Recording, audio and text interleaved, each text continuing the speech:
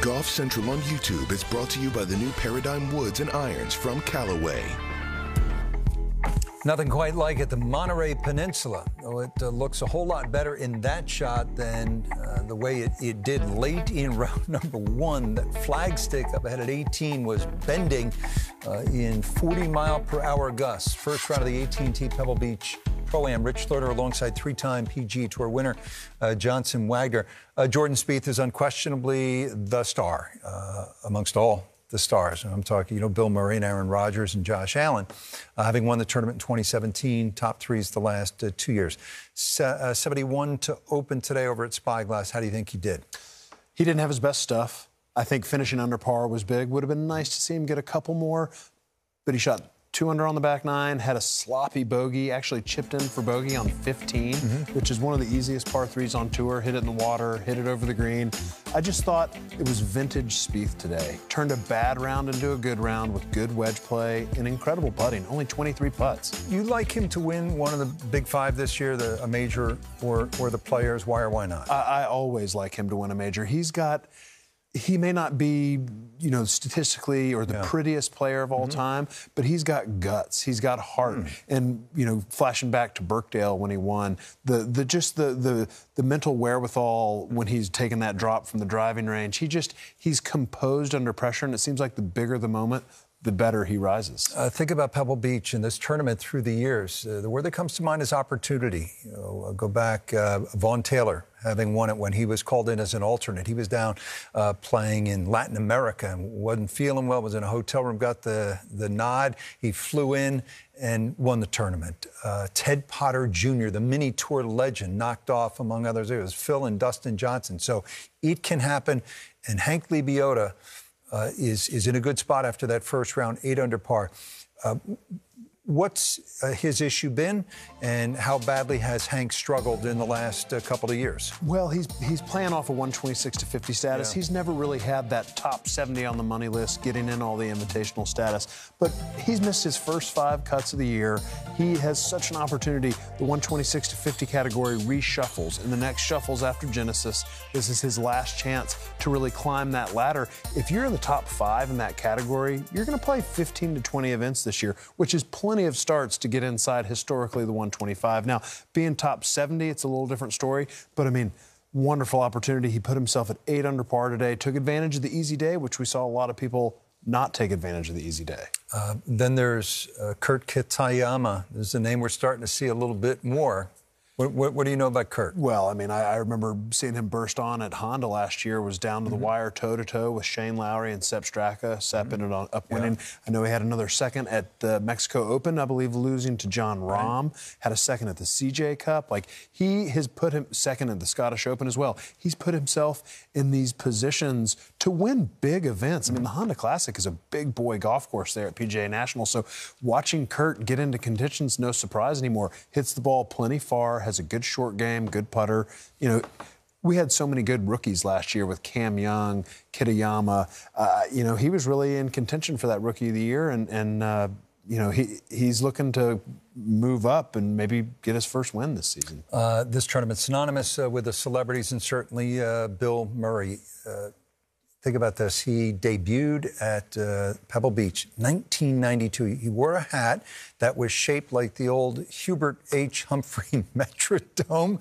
First tee at Spy before even teeing off, threw down a beer and a Polish dog uh, playing, playing with Scott Simpson, and he's still at it. Won it with uh, D.A. Points.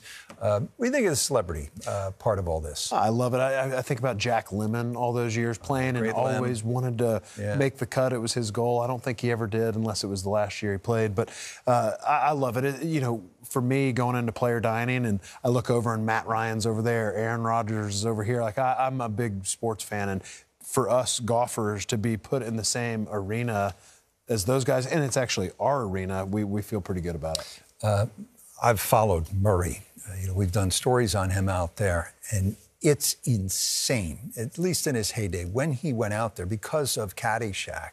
I mean, you know, people just yelling stuff at him, you know, from from the movie. Uh, what's it? It's in the hole. no, it's not. It's it's in the Pacific. Uh, but they yell it. They yell it anyway. And I will say, when he did win in was it 2011 with D.A. Points, he received uh, something far better than any Oscar. Uh, he received total consciousness, uh, didn't he? Uh, you know, I, will give you a good Bill Murray story. So the year that we were following with cameras, uh, he sprayed his tee shot at 17, the famous, you know, par three where Nicklaus flagged the one iron, Watson chipped in. Horrible shot right up against that grandstand. You know it, about 20, 30 yards short and right of the 17th green, and it's packed. Murray saunters over. He doesn't walk, he saunters. You've seen him. And somebody from the top of the grandstands looks down and said, Hey, Bill, Kevin Costner made birdie here. And Murray didn't hesitate. He looked up and he said, Kevin Costner made Waterworld. Just like, and then with that, he proceeded to stone the pitch shot to about a foot. That's timing and he's brilliant. And the interaction he has with yeah. the crowd the whole week. Now, I have heard you don't want to play in the group behind Bill Murray as a professional. That's true. Can be a little bit slow, but he does wonderful things for them. And the crowds come out to watch the golf, but they also come out in support of these celebrities. Played a couple of years ago with uh, an actor, and and he had more support than anybody in our group. The three of us, it was a Sunday, and you know these people were out there to see them, and it's such an important part of it. The the tournament does great work for charity, and those celebrities. A couple of big name quarterbacks are in the field this year. Josh Allen loves the game of golf. We know that, uh, and then Aaron Rodgers, good stick. Both are good sticks. Josh Allen swing off the first tee at Spy was very impressive. He is skipping the Pro Bowl to play at Pebble Beach. Has that his, says he has his priorities in order. The, I think the greatest um, athlete from another sport turned professional golfer would be a quarterback, and it's a Bay Area legend, the late, great John Brodie, uh, who quarterbacked the 49ers uh, for, for a long time and won on the PGA Tour Champions. Didn't know that. Yeah.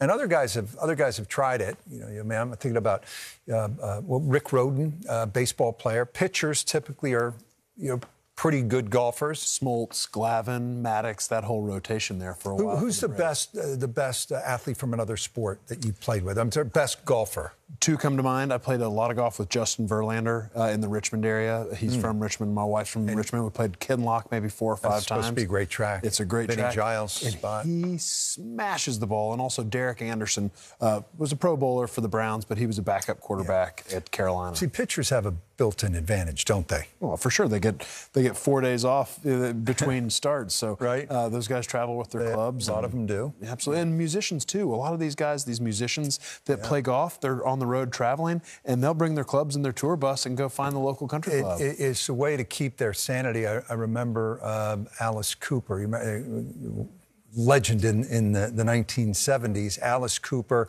you know, had his demons, uh, battled booze, and he said golf helped get him sober and keep him sober all those years. Right. You go play golf, you then go to your show, and you're so excited to play golf the next day because these guys are playing the best courses in the towns they are. Golf's probably saved a lot of musicians' lives. Mm.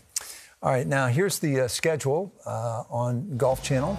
Uh, we're with you on the pregame show Friday at 2:30 Eastern Time. Then it is a live tournament coverage, and then we're back at uh, 6 o'clock Eastern Time uh, Jordan will be over at uh, Monterey Peninsula, the shore course.